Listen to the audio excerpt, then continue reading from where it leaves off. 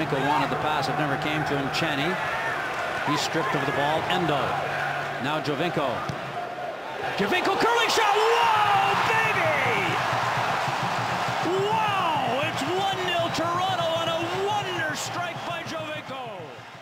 What is going on everybody welcome back today to a brand new informed player review from FIFA 17 and today we are going to be looking at the first informed but not his first special card for the Atomic Ant the Pocket Rocket, whatever you want to call him, Sebastian Giovinco. If you do enjoy this player review lads, as always make sure to leave a big thumbs up on the video and subscribe to the channel if you are new around here. But without any further ado, let's get stuck into this. So of course he is the Pocket Rocket and the reason for that is that Giovinco is standing at a very, very small 5 foot and 5 inches tall. His work rate's a high medium, he's got 4 star skill moves and a 4 star weak foot. And as we start to look at some of his base card and in-game stats, this card is absolutely electric. He's an 85 overall rated striker. He's got 90 pace, 89 dribbling, 83 shooting, 81 passing, 65 physical and 30 defending. And his top 5 in-game stats are 95 agility, 95 balance and 91 acceleration. That there is just a recipe for good things to happen.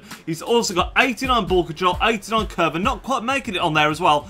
89 free kicks. Uh, the traits and specialities that this card comes with, he's got flair, technical dribbler, long shot taker, corner specialist, and the finesse free kick stance. And uh, as we look at the team that we used him in, you can see it's a uh, it's basically a Serie A team. We linked him up with the Italians in that league. Of course, he is originally from the MLS. You can see in the five games that he played with Giovinco, he came away with actually seven goals and two assists. It says six. One of them went down as an own goal, bizarrely. Well, the guy touched the ball just before it crossed the line, but I'm going to say seven goals and two assists. And as we start to get into some of the clips of him in action now, I can honestly say, lads, He's just everything you expect from a Giovinco card. He's absolutely outstanding. Outstanding. The only weakness that he's got is the lack of strength, which when you're using a Giovinco card, you've got to expect it, haven't you? He's not going to be holding off defenders with, with pure brute strength. He's a very weak player, but he is just incredibly agile. His dribbling is next level. He's absolutely outstanding.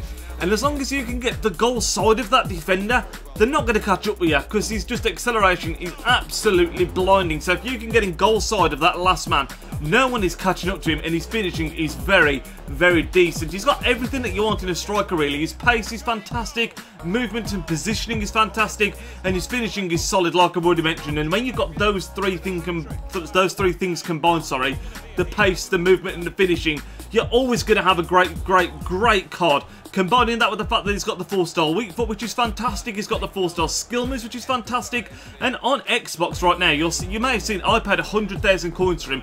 He's currently going for less than 70k. I feel like if this card was in the Premier League or the Spanish League, if it wasn't in like, a, no offence to the MLS here, but it's not like the most popular league to use on FIFA, this card would be going for well over 100k with the stats that he's got. So he's a bit of a bargain in my opinion, especially when you can link him up to the Serie A quite easily like I have in this team. But um, overall, we're going to be giving him an 8.4 out of 10. So, such such a strong card, lads, at striker. The positives, as I've already mentioned, incredible pace. You're going to see that in the goal that you're seeing in the background here. Look, he just burns past the one defender, gets knocked off it, but just carries on and then chips it over. And this is the one that actually went down as an own goal as well. The defender, defender just touching that before it went over the line. But as I was saying, Pace, dribbling, movement, finishing, free kicks, all absolutely outstanding. The only weakness is his lack of strength. And overall, we're going to be giving him, as I've already mentioned, the 8.4 out of 10. That just about wraps up this player review, lads. If you did enjoy it, make sure to leave a big thumbs up on it. Like I at the start, I will speak to you all in tomorrow's video. Enjoy the rest of your evening. Nidge out.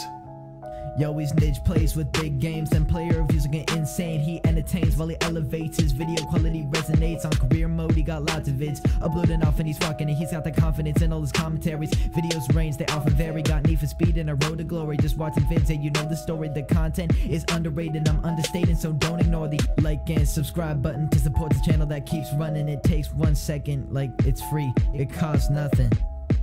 Peace.